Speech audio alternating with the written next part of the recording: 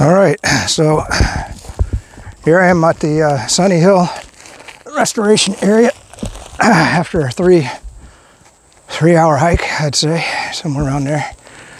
And I wanted to do another motorcycle chat video because uh, these are so easy, you know. That's why, you know, these guys on YouTube, uh, you know, they sit behind their desk and make a video and, uh, you know, I come out here and I hike and I got a clip here and I got a clip there and I got a clip here. Anyway, this is kind of what I do. I wanted to, I talked on the hike a little bit about uh, the snacks that I bring, Slim Jim, maybe some beef jerky. Uh, when it's not too hot, these, these are the best I've been able to find. They're called pure protein bars. 18 grams of protein, 2 grams of sugar, which is not good, but that's not bad. 190 calories, dark chocolate coconut's my favorite but uh, you you get whatever you want.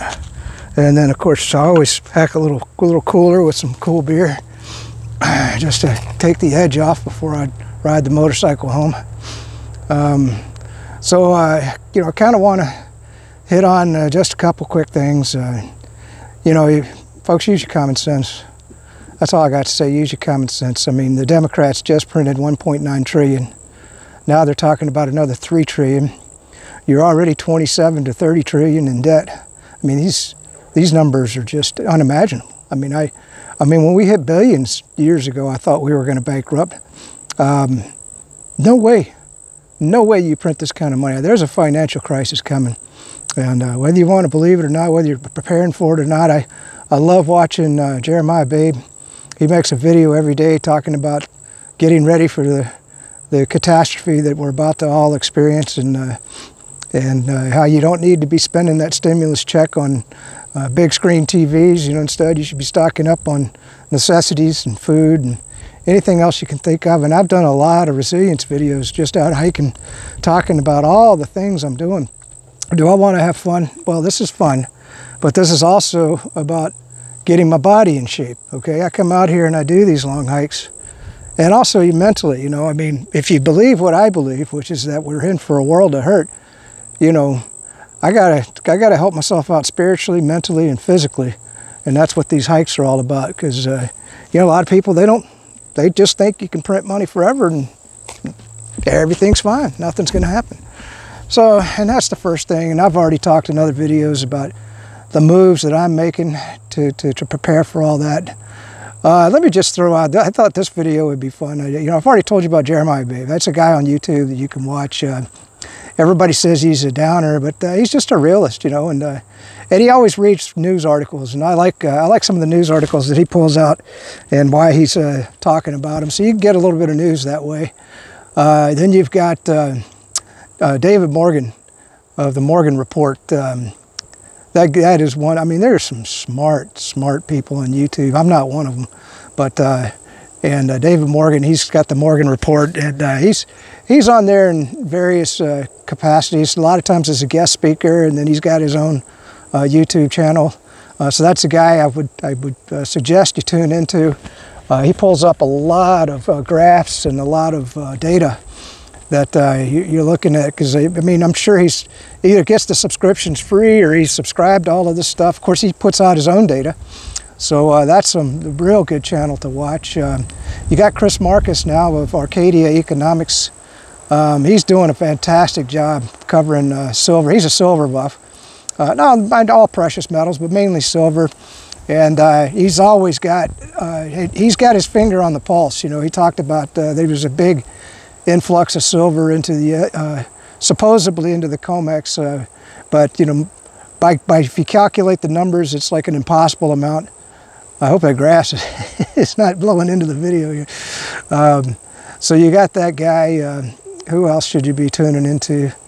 Chris Marcus. Hold on, let me let me break that grass. You're gonna have it waving in front of the camera. There we go.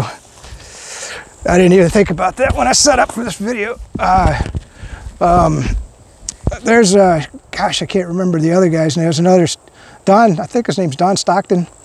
He's on there, and uh, you know, if you just fish around, you, you'll find all the channels. Uh, like John Bravo, he's he's I, I like it because he's got a good sense of humor, and uh, but he's selling you his uh, his system. He wants to sell you stuff, and you know, but he does a good job. He gets he usually gets some sort of news article, and uh, I don't know to feed the algorithm. Um, oh, of course, Viva Frei. You know, I love that guy. He's always talking about legal stuff. You know, the legal cases.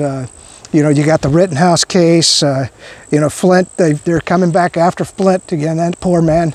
I don't know why they won't leave him alone. He hasn't done anything wrong, as far as I can tell. Um, you know, and then you've got. Uh, uh, there's some other cases that are, are, real interesting that they go over. Uh, well, you got, you know, you had the Parler was suing uh, Google and Amazon for a while there. I don't know where that stands. I think it might be over with. I think they lost. And then you had, um, well, you've got uh, Rumble right now suing uh, Google, and uh, that's still in the works. So he covers that too. And and then there's uneducated economist. he's got a channel, and he just talks about lumber and what he's seeing because he works in a lumber yard and uh, pretty knowledgeable guy. I mean, if you ever wanted to tune into him. So, you know, this is kind of what I do in the evenings is I just, like, for example, tonight, uh, Arcadia Economics is going to have a silver roundtable and they'll, they'll probably have uh, five, five people on there, including Chris. So that'd be four, four guests and Chris Marcus, maybe five.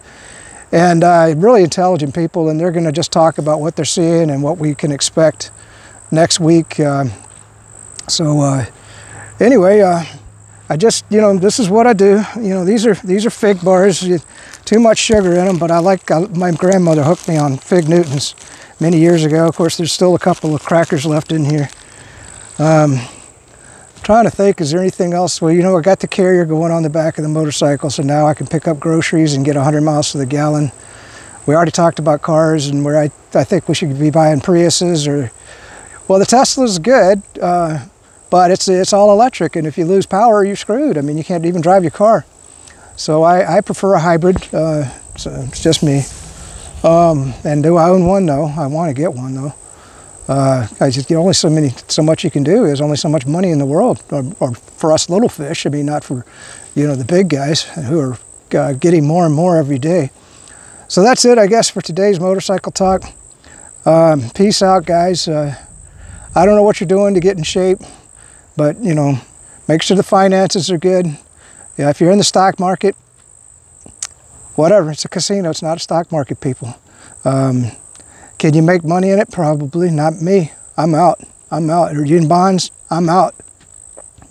Um, I'm all all in, and then you, you know not to buy the uh, the COMEX ETFs, SLV, SIVR, um, GLD. Stay the hell away from those. Uh, if you're going to get in into, into the ETFs, uh, the precious metal ETFs, you know, you want to buy Sprott, PSLV, uh, CEF, I think, uh, uh PHYS, I think something like that. That's their goal. You can go to the website sprott.com and, and look up the, uh, they got some mutual funds too you might want to look at. And if, if, you really want to just turn your money over to them, they'll manage it for you for a fee. Um, whew, wow. All right. So I'm going to kick back, have a beer, listen to the bugs, enjoy that because this is another thing you know a lot of people are morning people and uh, i work nights most of my life so i'm more of an evening person i just like the evenings i'm watching the sunset right here and uh, you know you get a bit better breeze in the evenings and all that dew is not on the ground so you don't get that coming up and the day gets cooler as you hike instead of warmer so you start out in the heat and you finish up in the nice cool temperatures. It's, it's just beautiful out here right now. In fact, it's going to be a little bit cold riding the motorcycle home. I got a long ride home because um, it's getting out here. I mean, when you get out into the forest like this, it's a it's a bit of a haul, and that's why I bought that motorcycle so that I can get that 100 miles to the gallon. Because driving a car out here, I mean, I'd be looking at probably five, ten. Well, this is before. Oh, by the way, was I right? Was I right? Three dollars a gallon today. Okay, now they're they're saying the Suez Canal. No, people, man, we took down the Keystone Pipeline. And my wife says, well, that was just there to help Canada. Well, what about the 150? I mean, like I said, liberal mind, right? Liberal mind is crazy. Um, you know, I, I, said, well, what about the 150,000 jobs of people that were working on the pipeline? Union jobs, by the way, who probably voted for Biden. I mean, I don't know. Is that poetic justice? No, I don't want to see anybody lose their job. But you know, I just I didn't understand. One stroke of the pen, boom, they were done fracking industry is just decimated. So you, you, are not getting a lot of oil and gas there. And of course, they're talking about the Green New Deal and they're subsidizing, you know, uh, so I mean, the oil and gas and everything's going to, I, so I predicted $5 a gallon five dollars a gallon or more, or more. And if we do get the inflation that I think is coming, that's going to even add to the price. Now they're now the Biden administration is talking about putting a tax. In addition to the price going up on fuel, they're going to tax it. So if you've got a gas guzzling vehicle, you're out of your mind. Because, and especially if you got a long commute with a gas guzzling vehicle, you better before the prices get get up, because you know once those gas prices go way up, those little gas sippers or the price of those cars are going to go way up.